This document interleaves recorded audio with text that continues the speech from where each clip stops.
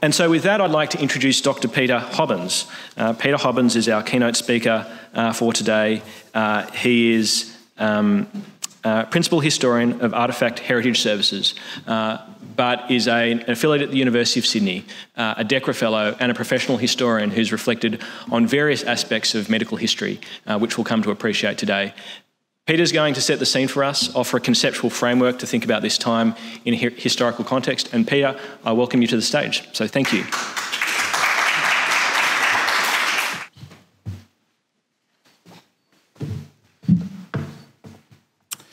Your Excellency the Governor, uh, President, Fellows, members of the Royal Society, friends, and colleagues. It really is a true honour to be addressing you here today, and particularly to take part in this forum in what's turned out to be a truly historic year. And I'm particularly pleased to join uh, my fellow historians here, Richard Waterhouse, Roy MacLeod, and Warwick Anderson. Uh, and as well, I'd like to thank Susan in particular for your warmth and generosity in helping set up the forum today. Now, historians have spent this year hearing that 2020 was unprecedented. Now, most of us have argued against that reading of the year, and what instead we've tended to argue amongst ourselves about is what are the most appropriate historical parallels. Was it medical in terms of prior pandemics, political in terms of crises, particularly uh, state and Commonwealth politics, or was it economic? Should we be looking back to the Great Depression or the Second World War and the transformations they made in our economy? Although I'm no longer at the university, for instance, I was asked to participate in over 60 television, print, and radio interviews in the first half of the year precisely because of my potential to contribute to these historical debates, particularly because of my knowledge around the impact of pneumonic influenza or Spanish flu in 1918 and 1919. Now, curiously enough, I'm not really going to talk about Spanish flu today, but I'm going to park that so that you can ask me about it during the question time if you wish. I've been asked lots of questions about it this year. Instead, what I'm going to do is take us back to a different moment of medical crisis, to an address delivered to the Royal Society of New South Wales in 1894 by its outgoing president, Thomas Anderson Stewart, who was the Professor of Physiology in the University of Sydney. Now, Anderson Stewart was alarmed in 1894 at the epidemics that were rolling out across the colony of New South Wales particularly uh, measles and scarlet fever, which he predicted had infected about 36,000 residents, or about 3% of the state's population. And he was particularly alarmed by the outbreak of diphtheria in Cowra, which infected about 30% of the population and had a case fatality rate of 13%. Now, just to put them into context, measles, scarlet fever, and diphtheria were all notorious killers of children in that era. And so he was alarmed, as you can see on the quote on the slide here, that these epidemics had practically overrun the whole colony. But he was also looking for a solution. And Anderson Stewart came up with the suggestion that really we, need, we needed in this colony to have increased compulsory powers of notification of infectious diseases, of enforced isolation of victims and their contacts, and also disinfection, mandatory disinfection of their properties as well. And in making those claims, he looked both to recent American and English history in order to inform what he urged that ended up emerging as the Public Health Act of New South Wales in 1896. It also interestingly increased the powers of the Board of Health. And I just walked past their old building on Macquarie Street this morning and found that up there it says 1894 was when they were incorporated. So clearly, Anderson Stewart and his cohort had some clout, even in concrete terms. But Anderson Stewart was also open to the new science of immunology. In particular, he was aware that in that era, a new vaccine against anthrax had been rolled out and tested in a herd of 50,000 sheep. Now, normally, anthrax in this era you would expect to kill between 20 and 30% of an infected flock annually. This vaccine reduced that number to two sheep. But Anderson Stewart was also aware of the galloping uptake in the community of another form of active immunity, and he spoke about the fact that residents in country districts of New South Wales were actively immunising their dogs against the poison of the paralysis tick. And they were doing that by deliberately attaching the tick to their dogs, until the dogs developed the preliminary symptoms of paralysis, and then repeating that process several times until, as he said, the dog is protected. But in Sydney, the story was rather different. Sydney's residents had historically manifested low rates of vaccination against smallpox. And yet, the disease smallpox was as deadly in humans as anthrax was in cattle, particularly in the form that was pandemic in the late 19th century. It would regularly kill about 20% of its human victims. And yet, here in Sydney, in fact, just up the road on, uh, at Hyde Park Barracks, we were producing a vaccine. We've been producing a vaccine since 1847. Uh, it had been distributed through the city and through the country at a nugatory fee and yet it was only really ever sought out when there were epidemics active in the town. So, in this moment of crisis in 1894, Anderson Stewart faced a dilemma. Should he look forwards or should he look backwards?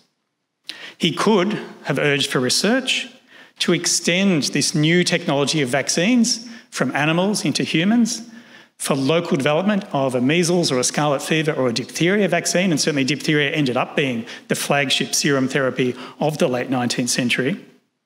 But instead, he urged for the expansion and the consolidation of the colony's various public health laws and powers that were, invest- that were vested in bodies like the Board of Health. But what Anderson Stewart particularly urged was a challenge to what he saw as the negligence, particularly of local authorities. In the 1890s, it was local councils who were primarily responsible for the health of our community. And he argued that what we have to contend with is not so much any real opposition so much as apathy and ignorance. So, in other words, Anderson Stewart was urging for the preventive power of knowledge.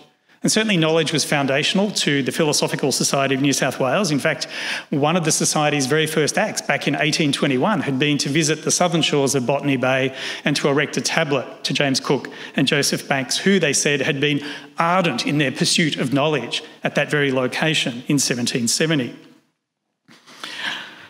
But the Royal Society, members who you see on your screen there, embodied at this moment the 19th century's unwavering faith in progress. And they, and you see, they were all gentlemen, very much a male preserve, they were gentlemen of learning, leaders in business, in bureaucracy, in pastoralism, in the priesthood, and in the small cadre of academics in the colony at the time. And most of them shared a positivist belief in the power of empirical, verifiable evidence to guide their opinions and their future actions. And in fact, in the 19th century, history was regularly seen as a science, but it was seen as a science with a message. It could provide personal inspiration, but it could also provide professional precaution, particularly by learning from the past. And it was in that moment of Banks and Cook's encounter with Australia in 1770 that Edward Gibbon began publishing volumes of his The History of the Decline and Fall of the Roman Empire, which overall provided a warning against the dissipation of empire and hubris. And in fact, the very first volume of that, very opposite to today, was published in 1776, the same year that uh, Britain's American colonies broke free of the mother country. Now, that American Revolution sparked what historians have often called a long, a long century of change. Uh, but of course, the term revolution itself implies not a progressive view of history, but a circular view that comes back to its point of origin. And in fact, if you look very closely at the logo of the Royal Society of New South Wales, you'll find that it includes a, an Ouroboros, or the serpent swallowing its tail. So, in fact, that circular view of history is embodied in the very logo of this society. But nevertheless, in the 19th century, we saw the development of progressive views of history. I mean, progress really was the narrative that propelled the 19th century. In 1859, Charles Darwin saw natural history as an endless series of developmental steps in response to endless environmental change. And writing in the same epoch, Karl Marx urged the study of the deep structures of history in order to understand its patterns, but more pointedly, for the teleological end of actually intervening in history and attempting to guide human society to what he saw as the perfect state of organisation. Now, it's not my role today to give you a, an overview of uh, two centuries of meta historical debate, but I think it's worth pointing out that really those two key positions have tended to drive the way that many of us have seen history afterwards. We either see the past as providing an object lesson in errors that we should avoid, or we see it as establishing entrenched patterns that we can again learn from and finesse to suit future circumstances. And just one example of that comes from uh, Colonel Hubert Foster, who we see in the slide here. He said in 1914 that there'd be, there need be little doubt, but that the future will bear out the past. Now, Foster was the Director of Military Science in the University of Sydney, but ironically, his 1914 book, War and the Empire, had a delayed release because of the outbreak of the war that we later came to call the War to End All Wars. Now, speaking of ends, uh, of course, the end of the First World War saw uh, the advent of the pneumonic influenza pandemic. But this year, I think we've also seen a war on, particularly on the humanities and the social sciences, but against all forms of institutionalised learning in this country. And so, of course, for those of us in history, there's been an urge to rationalise the heuristic value of history. Why do we study it? How do we go about doing that? What can we learn from the lessons of the past?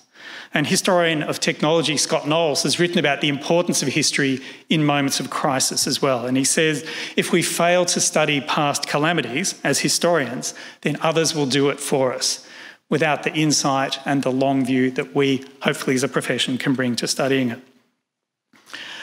But Knowles is talking about knowledge. And even in 1894, Anderson Stewart knew that knowledge alone was not enough to overcome the inertia of the everyday.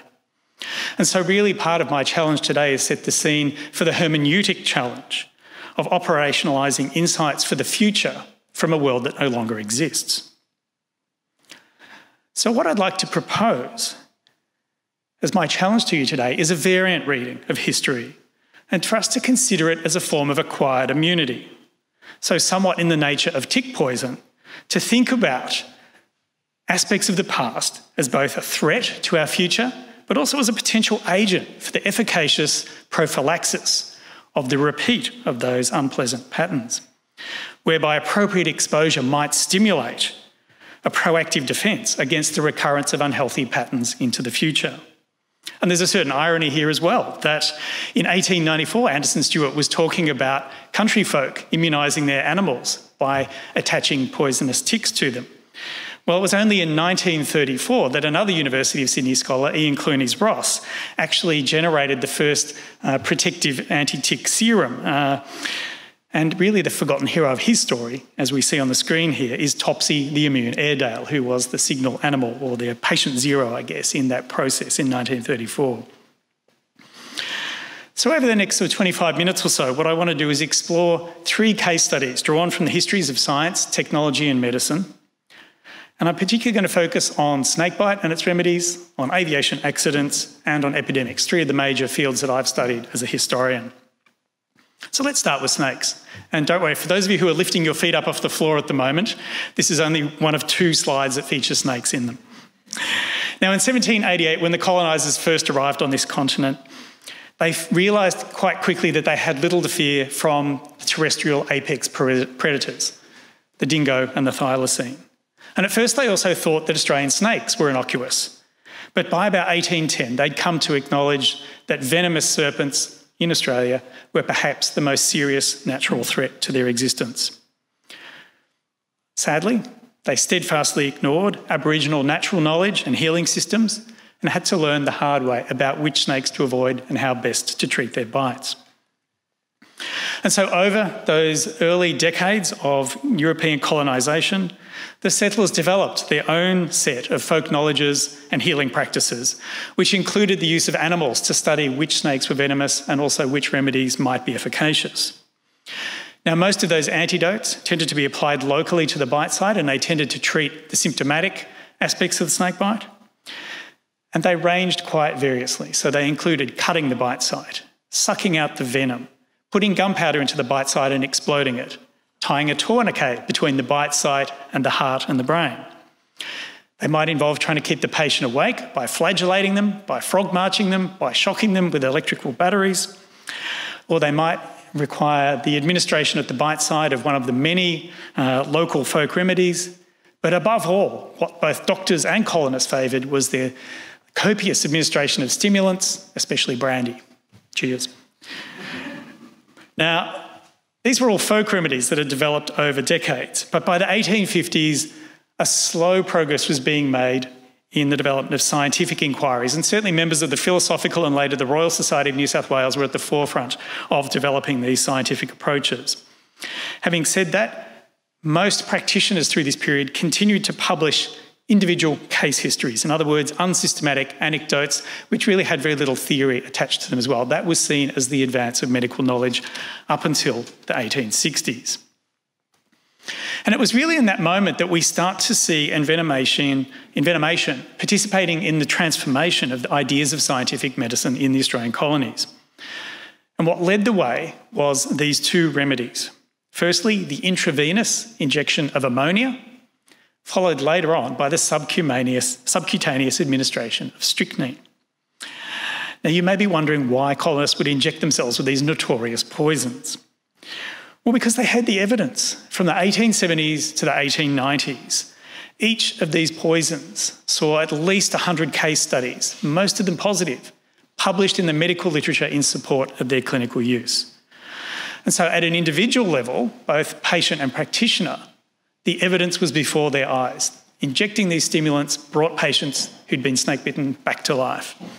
But together, those 100 case studies also provided a collective history that they could look back to and apply to the next patient who walked in their door or called them to their home.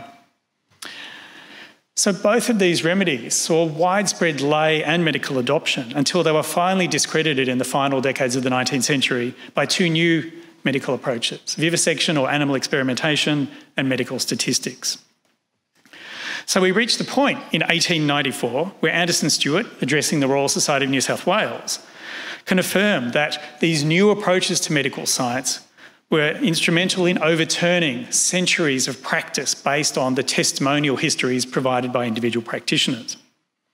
And as a physiologist, naturally, he said that only physiological study would deliver a rational method of treatment for snakebite.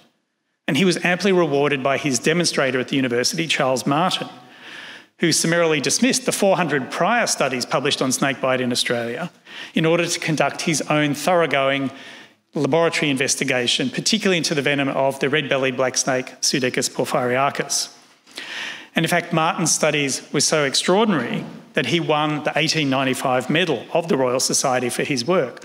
Although, and I think our honorary historian of the Society, Anne Coote, might uh, disagree with me here, I don't believe Charles Martin was ever actually a member of this society.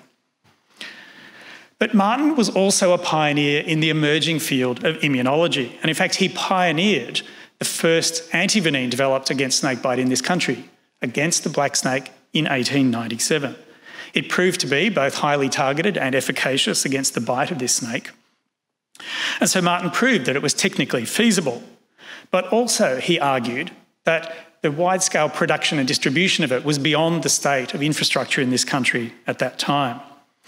And you can see the consequences of that playing out in this 1906 letter from Western Australia, which shows that much as antivenins or antivenoms were a technological advance, they weren't available. So practitioners were forced to fall back upon remedies that had been discredited a decade earlier. And I'm re- reminded here one of my favourite historians, David Edgerton, and his work, uh, The Shock of the Old, where he argues that novelty in technology rarely overcomes the inertia of the everyday.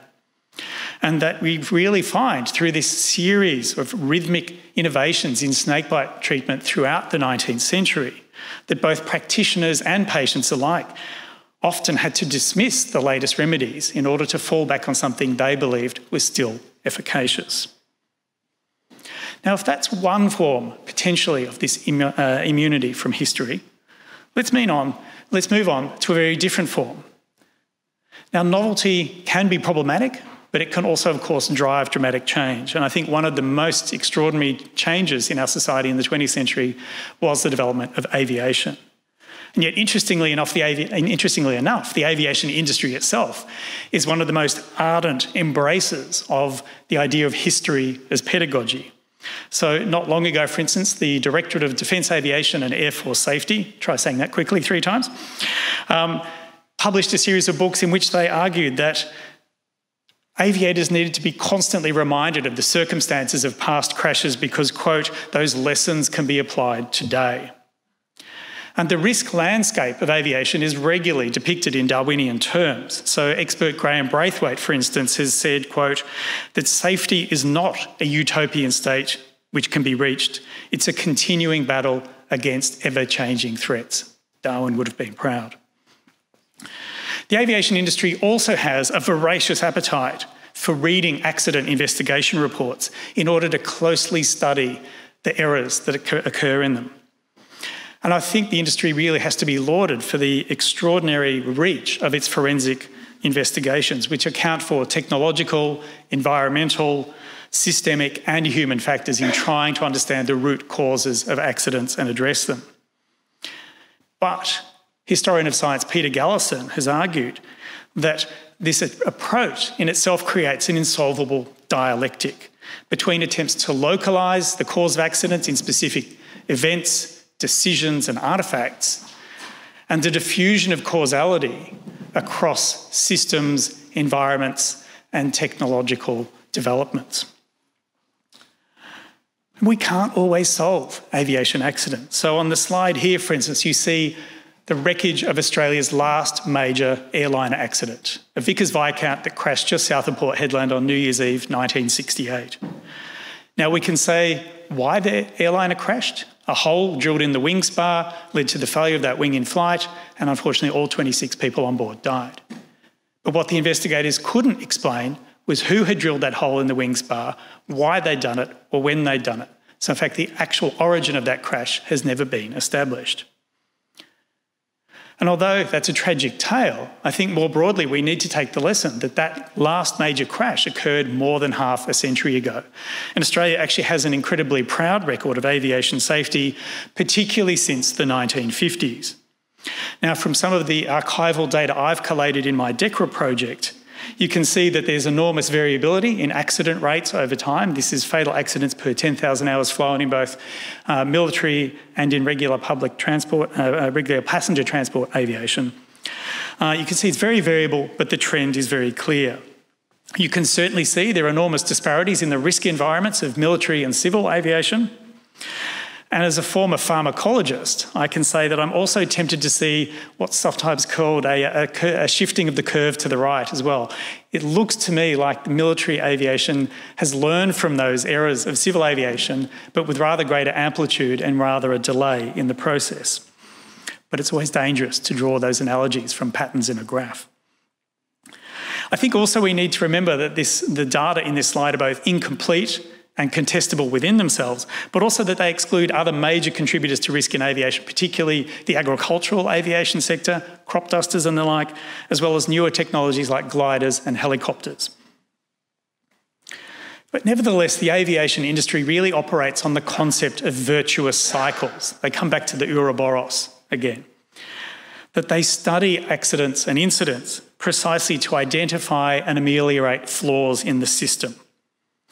And those flaws and the avoidance of them can then be operationalised in the design, the maintenance, the training, the operations, and the supervision systems that they apply back into the industry.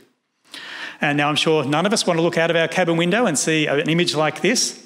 And yet, this is a, a, photo taken out of a Qantas flight, an A380 that took off out of Singapore in 2010, QF32, many of us will probably remember it, where one of the engines exploded in flight and shot wreckage through the aircraft structure.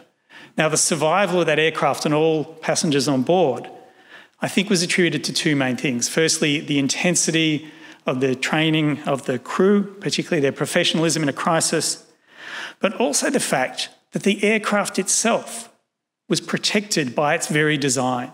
So the structure of the A380 actually was set up in such a way that an uncontained engine explosion actually caused minimal damage or that there were multiple systems of redundancy built in so that the damage caused was not terminal. And that lesson in aircraft design itself was born out of similar uncontained engine fails that were documented in the 1970s and 1980s. So, as in medicine, though, the, reliance of practitioners on history can also create perils. So, one of the one of the Australia's experts in the industry, Alan Hobbs, no relation, um, was concerned, for instance, to address what he saw as an axiom that had developed in the aviation industry, which was that increasing technological reliability would lead to a proportionate increase in the number of accidents blamed upon human factors. So, what he did is he went back and he studied 100 accidents from the early era of civil aviation in Australia, 1921 to 1932, and he compared them with a cognate sample published in 1996. And Hobbs found that a similar proportion of accidents could be attributed to human error 68% then versus 72% in the 90s. Seems a no brainer. But I would argue that his sample was flawed and that, uh, that presumptive historical stability wasn't there.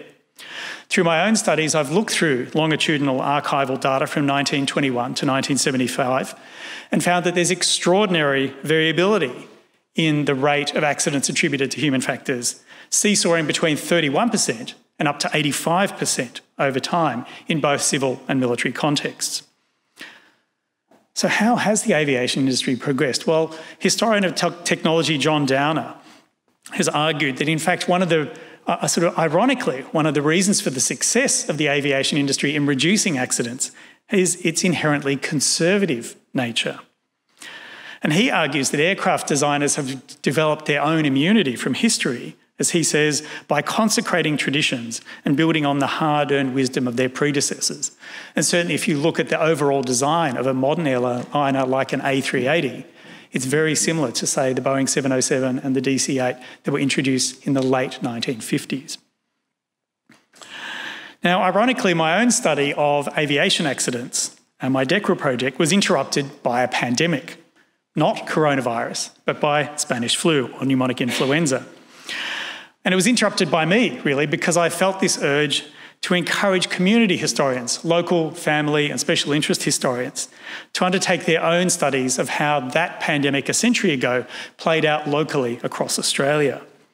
And so, certainly in the scheme that I put together and rolled out through the Royal Australian Historical Society in 2018 and 2019, I did discuss pandemic planning.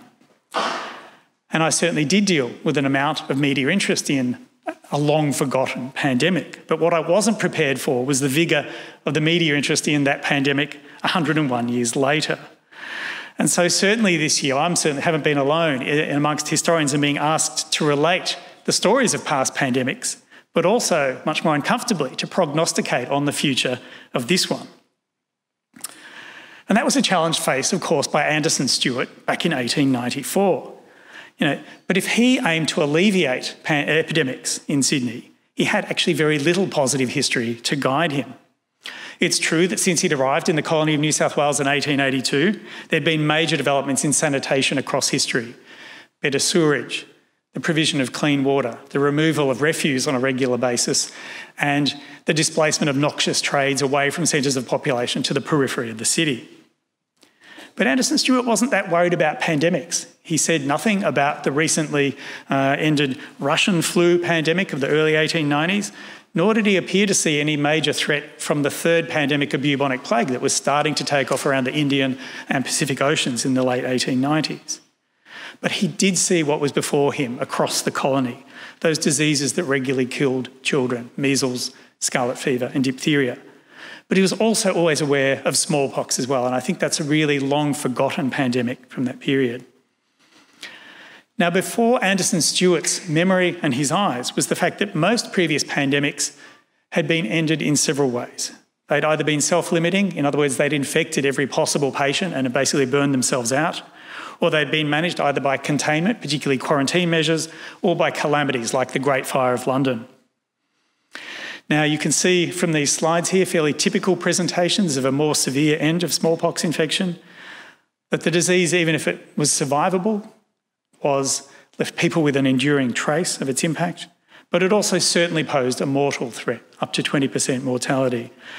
And Michael Bennett, just this year, has published a really salutary reminder of the importance and the tragedy of smallpox in the late, uh, late 18th century, but also of the rise of this extraordinary new technology vaccination from 1796 until about 1810. It circled the globe and really heralded a dramatic transformation in the way the medical practice and, or medical profession and the community almost universally started to think about infections. To some extent, one of the problems with vaccination was that it remained the only viable human exemplar through the entire 19th century. It was created by inoculating patients with a mild disease, cowpox, in the hope that it would stimulate their immune system to help protect them against the much more severe smallpox.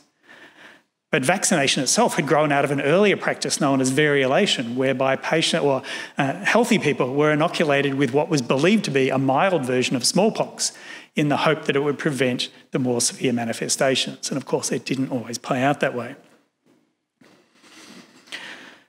But by the end of the 19th century, this emerging science of immunology really threatened, promised really, to provide an unparalleled upheaval in the mode, the scale, and the politics of preventing disease. And as Anderson Stewart himself knew in 1894, the animal data that he saw in sheep flocks, for instance, and also in settlers' dogs, were promising. But here in Sydney, in particular, vaccination through the 19th century had had a long and fractious history. We in this colony and then in this state never adopted compulsory vaccination laws, unlike, say, Victoria, Tasmania, or New Zealand. And one consequence of that was that smallpox vaccination was actually had a fairly poor uptake through most of those periods, except when we had outbreaks in the city, such as 1876 and 1881. And then we saw a dramatic clamour for vaccination, but it was always ephemeral, that it passed within one to two years. And ultimately, both of those major outbreaks in the city in the late 19th century were overcome by maritime and municipal quarantines, in other words, forcibly detaining people in institutions or in their homes.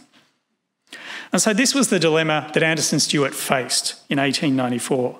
Should he urge technological progress or should he point to recent historical successes? He could encourage the idea of herd immunity through mass vaccination and development of new vaccines against these uh, prevailing pandemics. Or he could face the fact that Sydney's residents resisted being herded into institutions, and they'd certainly complained loudly about that in the Royal Commission into the smallpox outbreak of 1881. Now, Anderson Stewart in 1894 said that this was very much, as he called it, distinctly a poor man's question. But who was he speaking to? the gentleman of the Royal Society of New South Wales. And in that circumstance, he made calls, political calls, for vigorous laws that were founded on what I guess you could call a double immunity from history. Firstly, the immunity born from the pragmatic knowledge that diseases had recently been defeated through the development of public health laws and their enforcement, but also political immunity born out by using the past as an arbiter of speaking for the future. Now, all of us every day operationalise history. We use the data from the past to shape the rational decisions that we hope we make. And I think if we were to think about this concept of immunity from history, then really I would argue that it's largely not conscious, but it's attitudinal. In other words, it's a subconscious adoption of many of these ideas of learning lessons from the past. And so both the pattern and the prototype models can play out in shaping professional cultures industry standards, and political processes. But also, the idea of this immunity from history can also shape our normative assumptions about what's possible, what's desirable, and what's just in our society. That belief in the protective power of history doesn't need to be overt, but like any tradition, it runs the risk of proving to be reactionary. In aviation safety, I think we could see that a degree of conservatism isn't necessarily retrograde. It's contributed to our extraordinary and world admired aviation safety record. In the case of snakebite remedies in the 19th century, it's a bit more problematic. That there's a sort of an unhealthy allure of past practices that had proved to be discredited, but were the only thing that was seen to be able to fall back on when the latest advancement stalled. In the context of epidemics, though, and I guess this is where I'll tail off into the rest of our discussions today, we have to think about immunity from the past as informing both the politics of managing those epidemics as well as the promises of knowledge emerging from them. And finally, I'll just close out on thinking about the issue of scale and about how it's intrinsic to conceptualising this idea of immunity from history. So all of us embody larger lessons into our everyday decisions. And of course, we'll refer to our own proximal and personal histories as well. And to just give one final example, medical diagnosis, when each of us attends a clinician, begins with them taking an individual case history. But the protective value we see of going to the doctor is informed by their prognosis and their treatment options, which are informed by learning from the collective histories of hundreds or thousands of patients who preceded us. So, if those models and examples from history remain critical to our everyday decisions, then perhaps we can foster some sense of immunity from these unhealthy patterns of the past. But of course, as a historian, I'm going to say that we require people like me and my colleagues here to undertake a more critical analysis of the way we use those histories. And our challenge, I think, in the post COVID world that we're looking forward to, lies in credibly communicating those collective narratives, at least where we concur that history may be salutary. Thank you.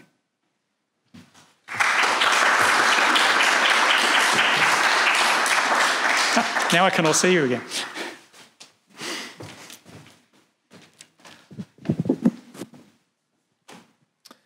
Thanks very much, Peter. So, um, I think now comes the opportunity for discussion, uh, and uh, Lindsay and the, the, team have been sending through various questions that are coming through. So excuse me for referring to my um, phone as we go through. But Peter, first one from Susan Pond here. Um, what lessons from the past should we have learned that would have improved our readiness for COVID nineteen pandemic? As you can imagine, I've been asked that question many times this year, particularly in relation to 1919. And I always like to actually bring it back to a positive message. And uh, interestingly enough, this was the message that I encouraged community historians to deliver in 2018 2019, before we'd ever heard of coronavirus, which was that 100 years ago, our community actually pulled itself together. This was an era in 1919 before there was a Commonwealth Department of Health, before state uh, departments of health had any major powers apart from those of compulsory detention and surveillance of diseases. Most hospitals around our community in 1919 were run at a community level, either through voluntary organisations or charities or churches. There were some that were run by the state at that time, and gradually that process accelerated in the 1920s and 1930s. But primarily in the face of a pandemic that infected up to 30% of the population here in New South Wales, the community had to fall back on itself. Local councils were actually at the forefront of that. Local government was really a very important force 100 years ago. And councils actually did do a lot of preparatory work and assisted their citizens. They helped organise things like relief depots where soup and blankets and clean clothes and care of children could be organised at a very community level if parents or partners were sick. But ultimately, it was those local people, neighbours, family members, church congregations, members of other community groups who were the ones who came to the fore in 1919. They had to. So it was organisations like the Red Cross or the Anglican Church who actually stepped up and helped manage the pandemic because of two things. Firstly, we didn't organise our health system in the same way. We didn't think it was the role of our government to look after us a century ago. And secondly, because of the impact of the pandemic itself, it selectively affected younger people, aged 20 to 40 years. I'm out of that age bracket now, thank goodness. But it selectively targeted those people. Well, I shouldn't say targeted, but they were the ones who suffered the most severely. So it took out the main part of the medical and community workforce at the time and forced a disruption in social functioning at a time of crisis. So it meant that people were called upon to act in extraordinary ways in that time. So I think that's a very positive message we can take out of the past. And I've tended to see that spirit emerging this year as well. Of course, we've seen instances of defiance and selfishness, foolishness even, but we've also, I think, broadly seen people who have willingly self isolated, who've chalked rainbows on the footpath or put teddy bears in their, their front windows in order to share messages of hope and solidarity and a willingness to put up with whatever we can. Of course, the major difference this year, in contrast with 1919, is that our government has stepped in and made enormous strides, of course, created an enormous paying forward burden of uh, taxation for us to deal with. But it does mean that we've actually looked to our government much more severely. So, one of the lessons I think we should take out of this is actually to look again and think about the power of our communities.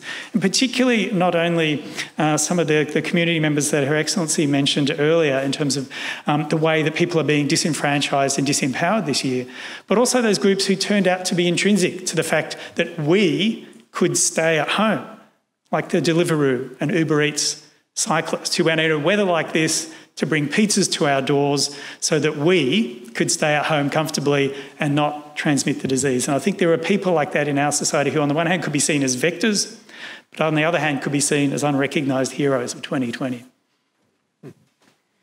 Thank you, Peter. Um, so before I ask the next question, just to remind um, everyone uh, that if you'd like to ask a question, please do send an email through forum 2020 Q&A at royalsociety.org.au or use the QR code this is a great opportunity for those um, online, but if uh, otherwise, if we need to pull some questions from the floor, I'm also happy to do that.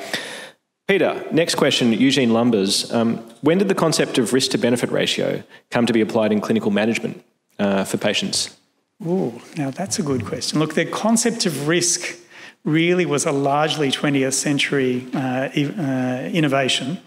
And my understanding is that really that risk to benefit ratio, I mean, it, the concept was there for a long time. I'm very conscious that my colleague Warwick Anderson, who's Australia's foremost historian of medicine, is in, in the audience. Um, my feeling of the, the formalisation of the risk to benefit ratio coming into clinical medicine was actually surprisingly late concept was there, but I think it really tended to be operationalised in the 1980s. I mean, I'd be happy to hear Warwick's view on this, and I'd also be keen to hear uh, Emeritus Professor Robert Clancy's view on this because he was very much a clinician through that period as well. But I think in terms of formal developments in risk to benefit ratio, and then its its transformation into you know new developments like evidence-based medicine, which really was a concept of the 1990s, I would argue it was in those late decades of the 20th century. Terrific, thanks, Peter. And so, just maybe building on what you were saying before, you, you invited yourself into a, a question about the Spanish flu. Do you want to maybe take an opportunity to share with people and into discussion your observations there and its connection? Mm. One of the other questions I'm frequently asked about Spanish flu, I tend not to like calling it that because it points blame at the Spanish who pointedly were not to blame for it. And that's why I'm so glad this year we don't call it the Wuhan virus, you know, that we, the World Health Organization very pointedly gave it a neutral name. And I think that's one of the advances that we've, we've developed over the last hundred years because you can easily label a community unfairly. So I do tend to call it the, the pneumonic influenza pandemic. That's actually quite an Australian usage. It was the official terminology used for that particular form of influenza mandated by the Commonwealth Government in 1918. So around the rest of the world, they don't tend to know what we mean when we talk about pneumonic influenza. But one of the other points I like to make about the 1919 is the importance of quarantine. Now, we've seen that playing out this year. We've seen it playing out at three main scales national, state, and domestic. And I think we saw those same scales in 1919, but we have to remember that 100 years ago, it was the federal government.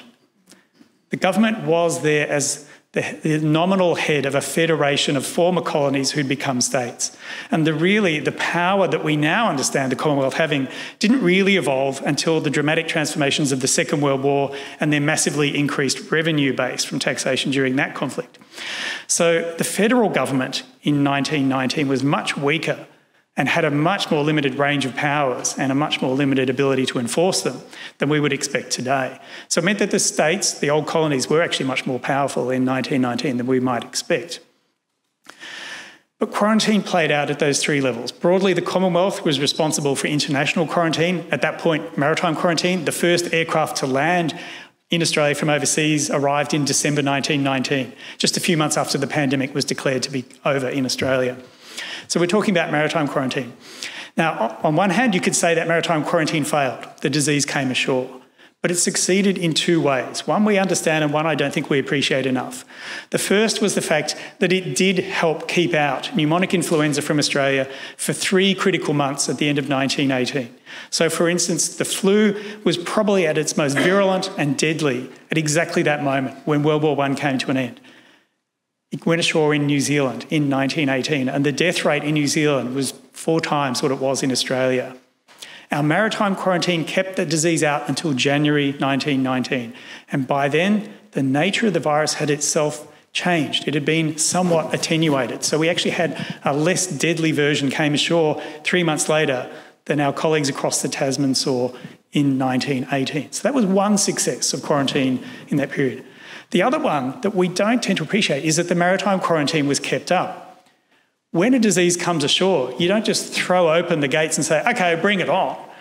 The maritime quarantine was kept up just as it's being kept up this year because you don't need to increase the caseload and you don't want to run the risk of the virus mutating again and introducing yet more virulent strains into the population. So the maintenance of quarantine was actually important then, and I think it has been today. Now, the second concern that's come up is this issue of state powers, state jealousies, and the way they've played out over this year, but also again in 1919. Now, look, there was a lot of factional fighting, political point scoring in 1919. States did close their borders against each other, not always for medical reasons. But nevertheless, I think the impact was there. And again, we've seen it this year. Yes, we can say it's silly or it's arbitrary, but it does still limit the movement of the disease through limiting the movement of people. And it had an impact in 1919, just as it did again today, by slowing the spread of disease and helping it ameliorate over time in 1919 and in 2020, I think we have actually helped reduce at least the acceleration of the disease, if not necessarily the caseload. Of course, we can't know how the caseload would have gone, but I think if we look overseas, we've got some pretty good indicators as well. And so finally, that third scale of quarantine uh, comes down to our individual choices. You know, we're citizens, most of us wish to obey the law and the recommendations of our government, but in 1919 and 2020, a lot of us were quite confused about exactly what the latest measures were. When should we wear a mask? When should we stay at home? Does it matter if somebody comes to our door to deliver a pizza? Does it matter if we go out and walk the dog or go and get a coffee? All of us had to face these individual decisions every day, particularly in the dark days in the first half of this year. And I think broadly, our community 100 years ago and today have actually embodied most of the public health messages that we would like to see in ways that we haven't necessarily seen playing out overseas. So I think, again, I like to talk it up and actually say that there are salutary parallels that we can draw between now and then. I don't know how much our behaviour in 2020 was influenced by an understanding of 1919. I think most people, you know, more broadly, had never heard of that pandemic. But it's interesting to see that pattern playing out again. And I think it says a lot about the nature of the society we've built and the social capital that we love and invest in here in Australia. Thanks, Peter. So maybe building on that a little further, uh, we have another question here from Peter Tyree, uh, which goes to the question of technology. And I think technology may emerge as one of the cross cutting themes today and is the topic of our next session. He says here, we learn yet again that we learn from history. Have you got any thoughts on using technology to help us learn before we enter into catch up mode uh, by failing to recall or be aware of history? Hmm. Technology is always a, a, tricky element, and having sort of moved across from history of medicine into history of technology, I still don't necessarily feel entirely across that field. But I think one of the uh, one of the major points about technology is we tend to focus on novelty. We focus on the new, the cutting edge, the latest developments, and we often forget two things. Firstly, that the history of technology is littered with failures or has beens or nearly made it. That's not to dismiss the true transformative power of new technologies like Wi Fi, like uh, cell phones, and so on. But it does mean that we can focus on innovation at the expense of thinking about the everyday as well. Um, so that's, I think that's one cautionary note, I guess, about technology. But I think also for historians, it's dangerous for us to think about the impact of technology going forward because, of course, we are not trained. You know, I've said this year several times, I'm trained to look backwards, not forwards.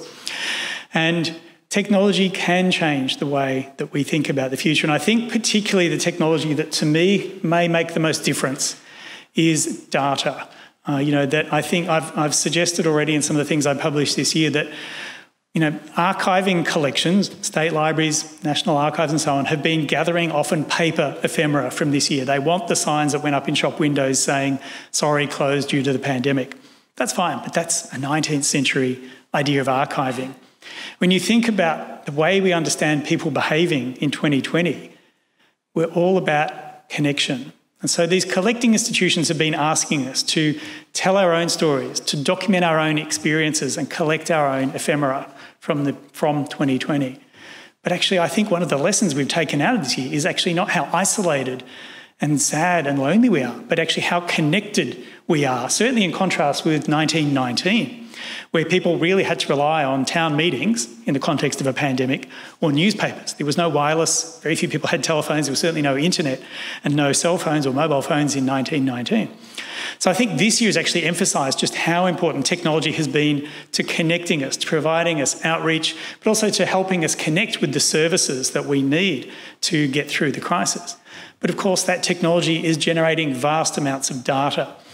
Now, one of my research projects has actually been going back to the history of data, and I've gone back to the computing technologies of the 1940s, actually in the context of aviation accidents and early attempts at what you could call data processing, using machines, like physical machines, to process data through punched cards as the very origins of computing before electronic computers came around.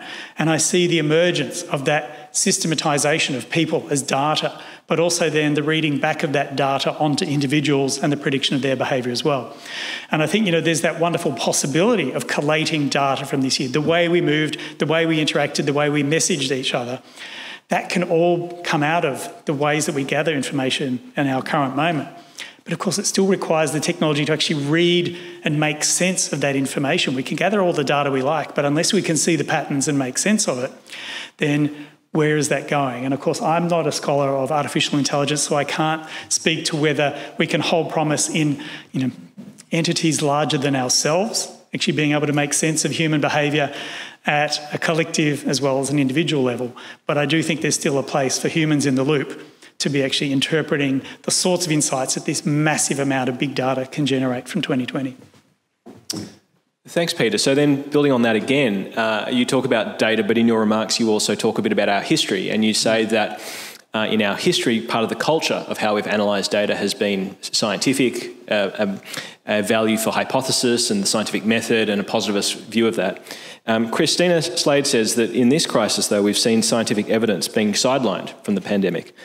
And so the question, I suppose, is are we becoming immune to scientific evidence, or is that part of our history less easy to ignore? Mm.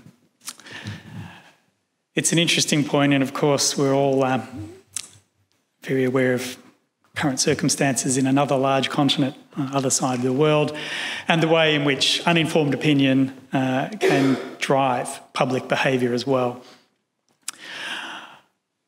One of the reasons I gave the illustration of country folk attaching ticks to their dogs was to emphasise that sometimes innovations can be adopted at very quotidian levels. And that sometimes what we think is high science actually plays out at the level of individual people picking up an idea and running with it. And I saw that a lot in my studies of snakebite. And you see it less in the aviation industry for logical reasons. The industry requires a massive investment in technology in the way that, for instance, individual behaviour in the face of disease or snakebite doesn't. I've also looked at some of the history of the anti-vaccination movement in Australia. And I, you know, I trained as a pharmacologist in the 1990s. I do have an understanding of some degree of understanding of immunology.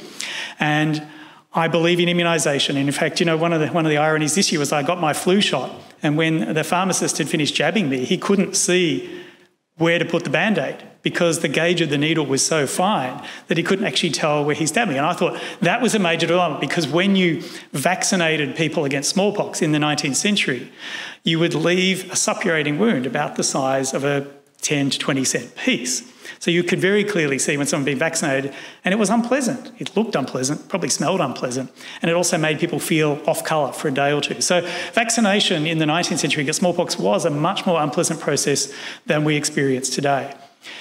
But as a historian of medicine, I've always been much less willing to dismiss anti vaxxers as being mindless or anti information. They often have their own reasons, and those reasons are often to do with their presumed civil liberties.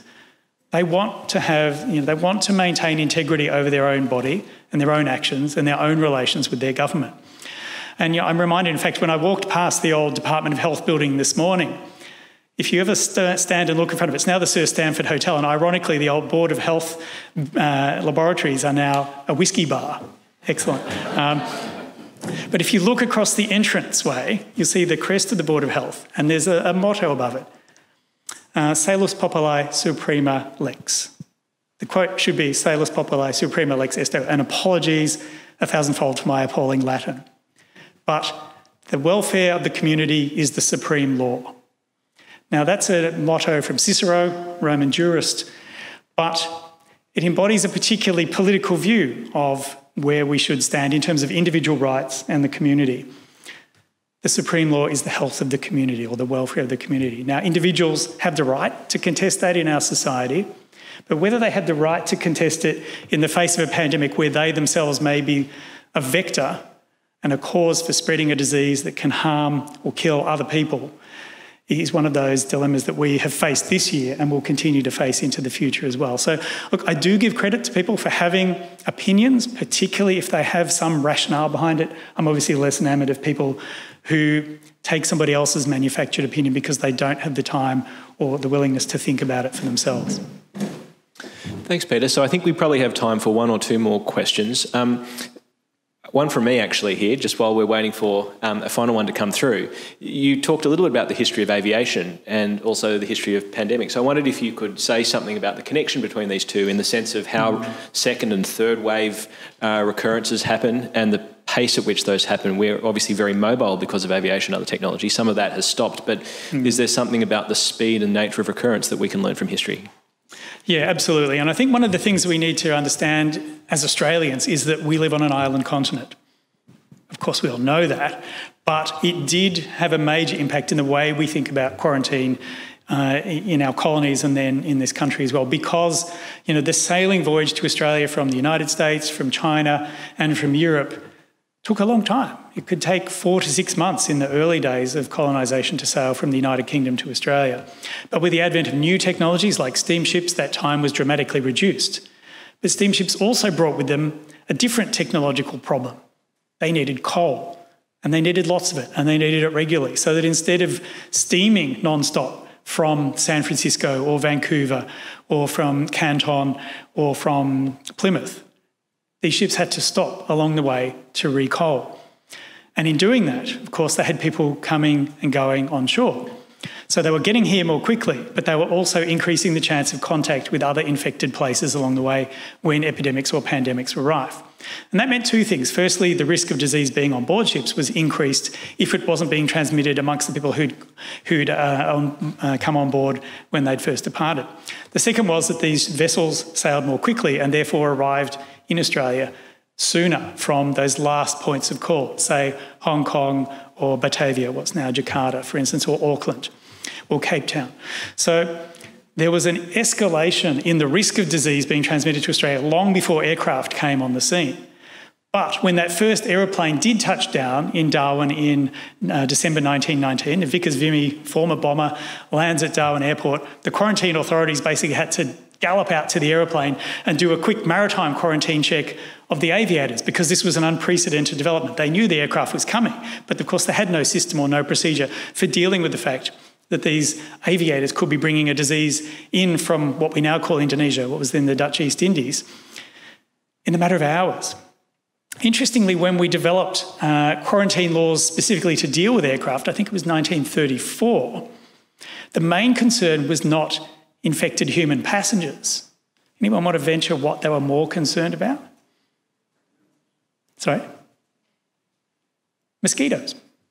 There was a concern that insects, arthropod vectors of disease, might come on board aircraft at local ports. And of course, as aircraft became bigger and had longer ranges, those, those ports of call could be further and further away. But our first aviation specific uh, quarantine laws were actually directed against arthropods. And in fact, I still remember as a young boy uh, coming home from overseas, and you'd uh, have the cabin crew walking up and down the hallway spraying, you know, I don't know, Mortein or something like that in an attempt to kill mosquitoes or God knows what they thought, there were fleas that might be on board as well. So that practice persevered for a long time. So I wonder if I've lost the point of the question in that series of, of anecdotes, but I think the point is here that the two cross over sometimes in unexpected ways. So, yes, we've understood the fact that aviation can rapidly change the nature of infected diseases. And it certainly, for instance, it made our quarantine stations redundant. The idea of a mass quarantine of hundreds of people who'd come off a ship was rendered redundant by the fact that a disease could arrive in, um, in Sydney, for instance, in just a few hours. And so, to give one example of that, Sydney's North Head Quarantine Station was established in 1832. It was gazetted then as a quarantine ground, mainly because of the risk of cholera, which was a, an awful disease that was pandemic in the 1830s. But cholera never made it into Australia until 1971, and it came in on a Qantas flight. So, you know, those things that we think we're protected against actually are not necessarily true. So, um, yeah, aviation certainly has changed disease practice, but I think we've actually seen a reversion to older practices. Curiously enough, the quarantine station, uh, the people who run the quarantine station, who are my, my friends and colleagues, they offered up their facility for use again as a quarantine station this year, and they were rejected. And I think, actually, ironically enough, because it's so large and sprawling, it's actually incredibly hard to police a massive headland at the entrance to Sydney Harbour. And until we heard what happened in Victoria, it was believed to be easier to police the entrances to a major city hotel instead. Thanks, Peter. I think uh, losing our way is all part of the fun of and the conversation. So, look, final question from Warwick Anderson, um, which is you've spoken a lot about what history has to say about the pandemic, but I wondered if you could reflect on how the pandemic might shape ways we do history uh, what do historians have to learn from this pandemic? Mm, And we might close with this one. Yeah. Thanks, Warwick, and thanks for not posing anything too horrendously curly. So, Warwick really is an extraordinary historian of immun- uh, immunology, so uh, thank you. Um, how will it change? Look, I think, you know, I've argued in a, a review that I published a few months ago that one thing historians need to face is what we've called the digital abyss. So we were aware of it from the 1990s. And I can speak from personal experience about this. I moved to Sydney when I finished my, my schooling at the University of Melbourne in the mid 1990s. I moved here in 1995. That year, my company instituted email. And so the very first emails that I ever received, I printed out and kept because I thought they were like letters. And I did the same with faxes. I don't know that the thermal paper from those faxes has anything left on it now. Within six months, I'd stopped printing out those emails and I just allowed them to vanish into the ether. I doubt that any of them are recoverable now. We recognised in the historical profession, even by the end of the 1990s, that this was an escalating process. The people were not writing to each other, they weren't sending letters or postcards or even faxes, they were sending emails. And the proliferation of those emails, and often the inanity of them, and the lack of formality in them meant that they didn't feel that they were worth retaining. Of course, some people have, but broadly, they haven't been retained. So we refer to that as the digital abyss. There's a cliff in about 1996 where physical documentation of our interaction with each other falls off. And of course, that's then accentuated by smartphones, texting, social media, and so on as well. Now, of course, there are scholars who've been scraping and archiving social media uh, at a, an aggregate level as well as individually.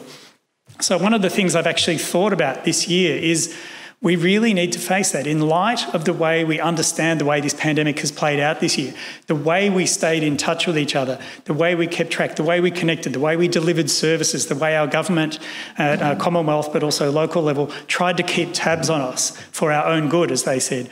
All of these things are born digital and remain digital. Now, I, I, worked last year at the National Archives of Australia, where they do take digital archiving very seriously. They act- actively go out and contact Commonwealth government agencies and seek data that can then be permanently archived. And they're very serious about maintaining the longevity of that. But many of our other collecting institutions, let alone our local council historical centres or our local historical societies, aren't in a position technologically to do that. And they're hanging on to these older practices of keeping paperwork or physical ephemera. And I think we're actually going to see, just as we see looking back at 1919, when there's a great dearth of council records, school records, personal correspondence, there's a big emptiness in the, in the physical records of 1919 because people were sick and, and services were so disrupted. I think we're actually going to have to face the fact that maybe this will spur us to think differently as historians about how we engage with data and how we have to actually advocate for its gathering and its archiving and its accessibility despite all of the security concerns and personal privacy concerns, so that 50 years from now, even 20 years from now, historians can write the history of 2020. Well, Peter, thank you so much for setting us up so well this morning and grounding us in history. Uh, I think this is a great moment for us to now break and have morning tea. And I think that when we come back, we'll be talking a little bit about our future and technology. Um, so for now, please, if you're online, uh, go find uh, a coffee or a tea. Um, uh, for those who are in the room, I think there might be uh, uh, some coffee and tea just beyond this door. But if we can all just join uh, and thanking Peter for setting us up for today's discussion. Thank you.